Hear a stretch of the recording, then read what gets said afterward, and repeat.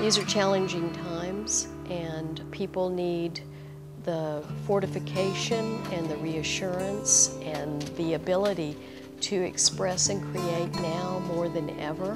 This is something that is paramount. It lifts and enhances life in a myriad of ways, and it is the reason I do what I do.